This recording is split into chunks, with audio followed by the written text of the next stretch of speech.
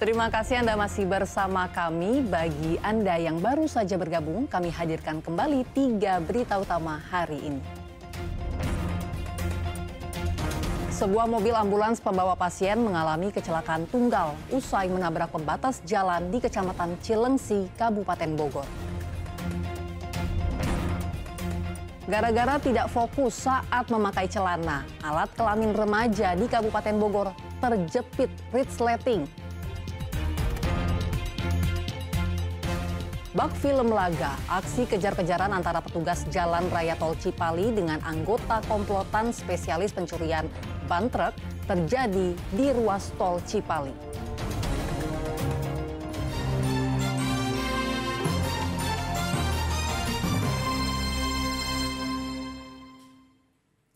Akibat terlalu fokus bermain telepon genggam, alat kelamin remaja pria di Kabupaten Bogor terjepit resleting Korban yang terus merintih kesakitan akhirnya meminta pertolongan petugas damkar untuk dievakuasi. Sambil menahan rasa sakit, Seofang seorang remaja warga desa Mampir, kecamatan Cilengsi, Kabupaten Bogor ini sedang dievakuasi oleh tim rescue damkar karena kelaminnya terjepit resleting. Selama proses evakuasi, korban pun terus merintih kesakitan. Peristiwa ini terjadi saat pria tersebut fokus bermain ponsel dan hendak menutup resletingnya yang terbuka. Alhasil karena kurang teliti dan tidak berhati-hati, alat vital remaja pria itu terjepit. Korban bersama keluarganya sempat melakukan upaya pelepasan resleting namun tak berhasil. Korban yang sudah pasrah akhirnya meminta pertolongan ke petugas damkar. Sekitar 25 menit, akhirnya alat kelamin remaja itu berhasil dilepaskan dari resleting. Si korban sedang main HP ya, sambil terduduk, tanpa disadari resletingnya terbuka. Dia tutup, pas dia tutup, nyangkut di ujung kemaluannya. Dia teriak, minta bantuan pamannya. Kurang lebih satu jam, tidak berhasil, pihak korban menghubungi pihak kami.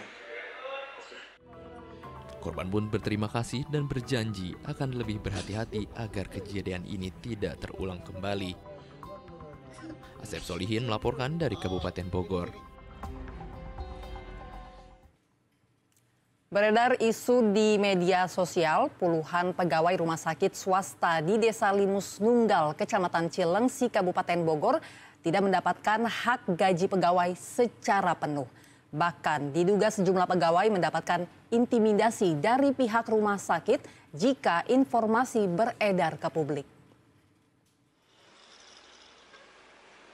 Terlihat seperti aktivitas biasa, beginilah suasana rumah sakit MH Tamrin Cilengsi usai hangat beredar isu puluhan karyawan tidak mendapatkan hak gaji dan tunjangan hari raya secara penuh.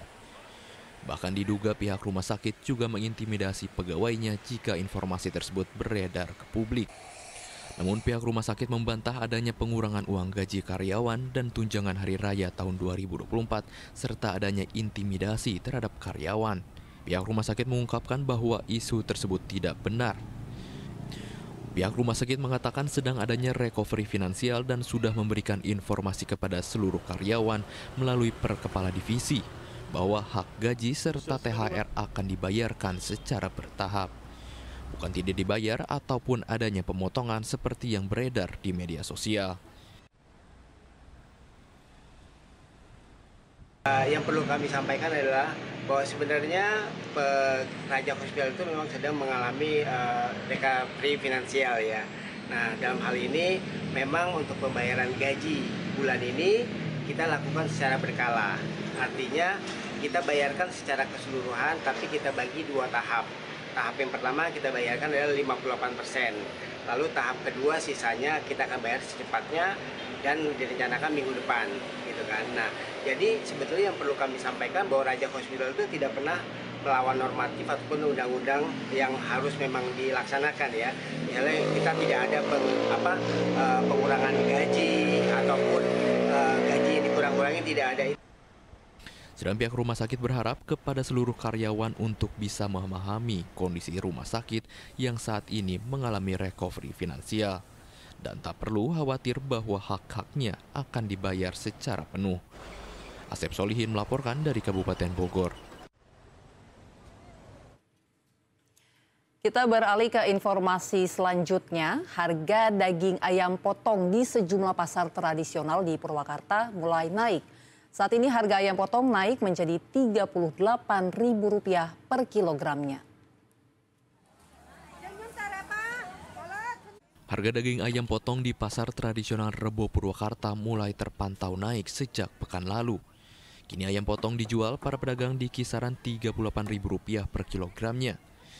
Kenaikan daging ayam terjadi hampir setiap hari dalam satu pekan terakhir. Sebelumnya daging ayam dijual seharga Rp30.000 naik menjadi Rp32.000 dan pada hari Minggu lalu mencapai Rp38.000 per kilogramnya. Para pedagang mengaku mereka menaikkan harga daging ayam karena harga dari distributor naik. Mulai naik, ah. Naik. Ya, Dari berapa ke berapa?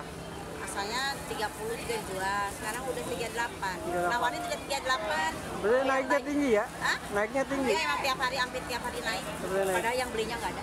Itu dari dari dari PT-nya mahal. Mahal.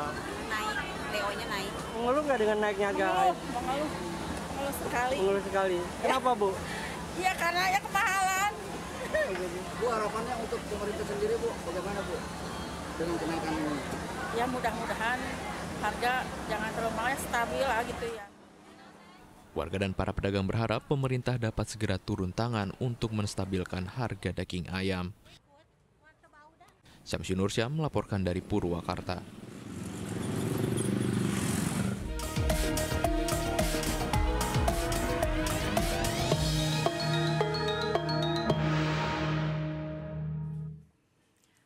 Para pasangan calon gubernur dan calon wakil gubernur Jawa Barat melanjutkan safari politiknya dengan polis po- belusukan ke pelosok desa, mengunjungi UMKM serta menghadiri pengajian.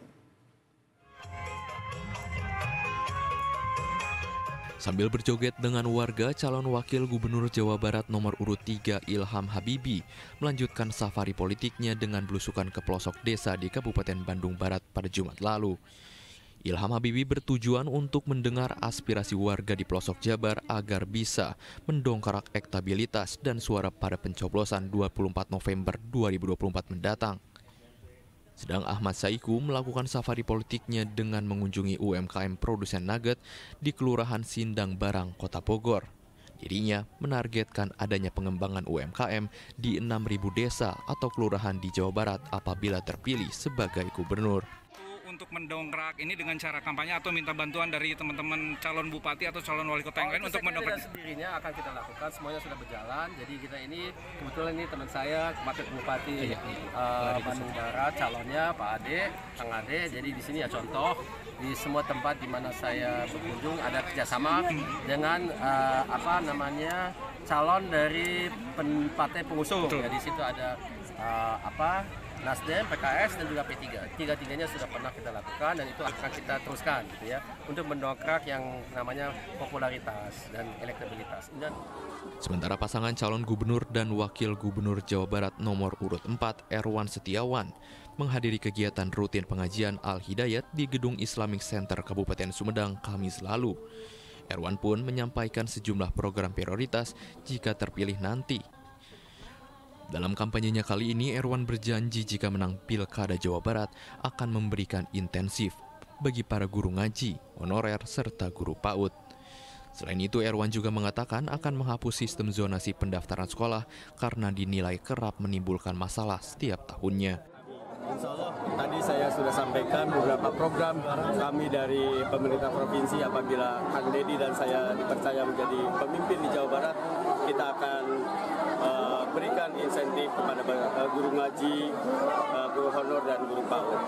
Tadi ada yang menarik Pak terkait eh, penghapusan zonasi sekolah itu seperti apa sih Pak realisasinya? Ya kita akan hapus tahun 2025 tidak ada lagi zonasi zonasi yang di Jawa Barat. Nanti kita akan lihat formulanya penggantinya seperti apa, apakah seperti dulu lagi atau yang penting semua anak-anak kita bisa diterima di sekolah. Calon gubernur dan calon wakil gubernur Jawa Barat akan menjalani masa kampanye hingga 23 November 2024 mendatang. Tim Liputan melaporkan. Panwas tingkat Kecamatan Babakan Cikau, Kabupaten Purwakarta telah melaksanakan seleksi calon petugas pengawas tempat pemungutan suara atau PPSP sebanyak 104 orang pendaftar.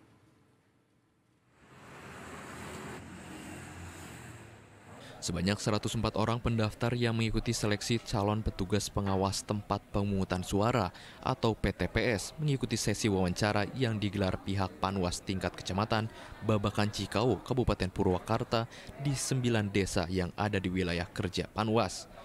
Sesi wawancara terhadap calon petugas pengawas TPS digelar selama dua hari, mulai hari Sabtu lalu, dan nantinya calon petugas pengawas ini akan ditempatkan di 86 TPS yang tersebar di 9 desa kecamatan Babakan Cikao. Ini mengikuti interview untuk calon PTPS. Pak. Harapannya bisa ikut? Ya, insya Allah mudah-mudahan bisa ikut, bisa uh, membantu pelaksanaan pilkada Purwakarta. Itu nanti yang terserap Pak atau yang terdaftar Pak? Artinya 86 Pak. Oh, terserapnya.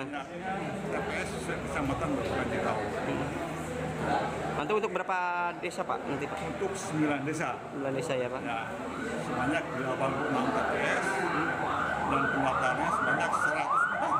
Jadi nanti ada yang lulus selisihnya seperti itu. Ketua Panwas Kecamatan Babakan Cikau Purwakarta menaruh harapan besar kepada calon petugas pengawas TPS yang terjaring nanti agar bekerja lebih optimal, profesional, menjaga netralitas hingga memiliki integritas. Syamsi Nursyah melaporkan dari Purwakarta.